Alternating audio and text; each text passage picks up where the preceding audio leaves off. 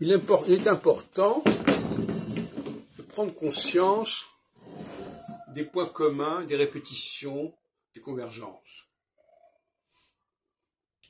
Donc, euh, de faire preuve d'une forme de centripétisme.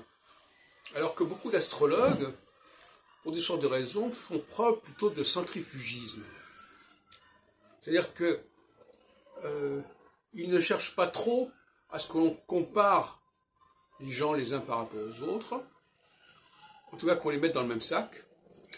Ils ne cherchent pas trop non plus à, ce que les périodes euh, successives se ressemblent, parce qu'à ce moment-là, on va avoir des comparaisons qui ne seront pas évidentes.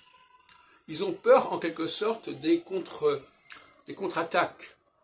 Parce que dire que des gens se ressemblent, on peut dire mais non, ils ne se ressemblent pas. Dire que des périodes se ressemblent, on peut dire non, elles ne se ressemblent pas. Et donc là, on a ce que, je crois appelle, on appelle le problème de la euh, falsification, c'est-à-dire, je crois que ce n'est pas le mot qui convient, en tout cas, la possibilité de laisser à l'autre la possibilité de vous, de vous contredire, de sorte font effort pour ne pas être euh, pris en flagrant délit d'erreur, en étant toujours dans des situations nouvelles, avec des cas nouveaux, ce qui ne permet pas de comparer et de dire c'est pas pareil crois que c'est un peu la démarche que suivent beaucoup d'astrologues, de, s'ouvrir toujours une porte de sortie en disant oui mais c'était pas pareil, euh, on peut pas comparer, etc. Moi je prends la position exactement inverse. Je pense que l'avenir de l'astrologie implique justement de dire que euh, il y a une similitude à la fois dans le temps et dans l'espace, que certaines situations reviennent périodiquement, que certains comportements se retrouvent à différentes époques, etc.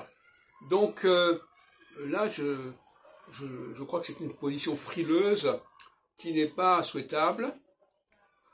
Euh, et je crois qu'il est, est urgent que les gens prennent conscience dans leur vie de la répétition. Je dirais même que lorsqu'on va voir un astrologue, je pense surtout aux leaders, parce que pour moi la consultation l'astrologie concerne les leaders et pas le tout venant, c'est justement euh, la prise de conscience des choses qui reviennent, qui reviennent à, des intervalles, euh, à certains intervalles évidemment, mais qui reviennent. Et pour que ça, se revienne, pour que ça revienne, il faut que ce soit, que ce soit arrêté.